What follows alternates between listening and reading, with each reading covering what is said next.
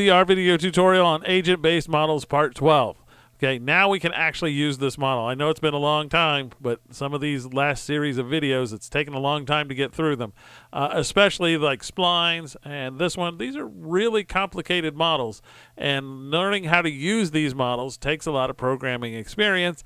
And hopefully, as you're going along here, you're seeing how things were put together and hopefully seeing some of the logic. We put everything together that we need right now. Now we can start playing with the model and start tuning it.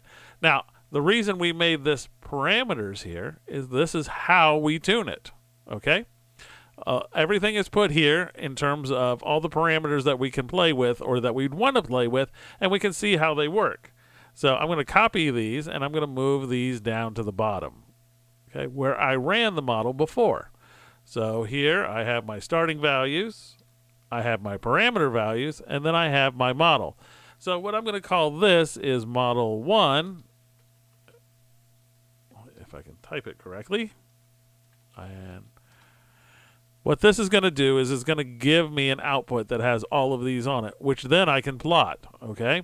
Now I've ran all of this already. So if I just take what I currently have and run it, I can now begin to plot this stuff, okay? Um, let's see here. What do I need to do to make this work? Well, I need to know what end time 1 is. So let's do plot. Um, let's see here. We're going to go from 1 to 15 because that's end time 1. And then model 1 has all of my outputs on it. So I can put S on here. So I can do type equals L. And here I can make the color equals, uh, I think we did purple before for susceptible because that's who we're looking at. And if I run this bit, you can see our plot that comes up. Okay, this is the picture that we have. We started off with 100 people and notice how quickly they all became infected. And that's because of our parameters here that we've been playing with. And we can change the model however we want as we go along. So I can do lines. I'm going to add all of them on here so that I have all of my uh, pieces here. So model 1, dollar sign, E, and I think we made them red last time. If you watch the one where we talked about compartmental models. 1 through 15, model 1, dollar sign I. Um, maybe these were red, and we made those orange. I think that's right. So these should be orange. And here the color equals red. And here lines 1 through 15. Model 1, dollar sign recovered. Recovered, I think we made green or sea green. And then we also have uh, here lines 1 through 15, model 1, dollar sign D, and we made those equal to black. Okay, I've ran all of this. That means I can look at the picture, and this is what I see. Um, and some of it is it doesn't go all the way up to 100, which it should, because remember when I start off, I purposely made some of the people, at least seven of them, something else. So I'm going to change the limits on this just to make the picture look a little bit better. Uh, so here I'm going to do a, or y lim equals c0 100. Um, that's just for this picture. If I were to make it bigger, this number has to match this number. So if I, and I can rerun this and you can see what the pictures look like. Okay, so here's the picture one time. Here's a picture another time. Here's a picture another time. And the reason they look different is they have randomness in it, okay?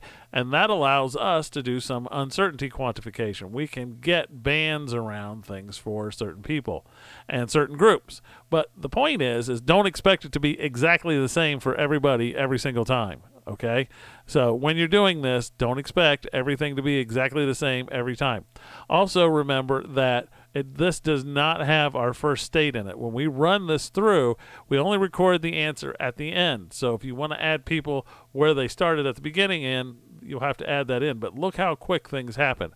And then you can come up here and simply change uh, these numbers and see how it changes the picture. And that's why we tried to uh, set it up this way. We can with functions Okay, now look, it took a lot longer, and people only met with five people, which in some countries they have that. No groups bigger than five. That's one example. And we can change uh, uh what's susceptible to exposed, right? How, how likely are they to become exposed? And you can see how these things change, and maybe it's much less likely that they die. And the beautiful thing about this is none of these have to add up to one, right? You can play with them however. Uh, now, as we go along here, notice uh, we don't have people who go from um, exposed to recovered because we said it took 14 days. And notice we only ran this out for 15 days. But what we can do is we can easily change that. We could go to 25 if we wanted to. And um, it's pretty easy to do here. And we can run it farther out and we can see what things look like. Okay, notice the recovereds take off here once we run it a little bit farther out.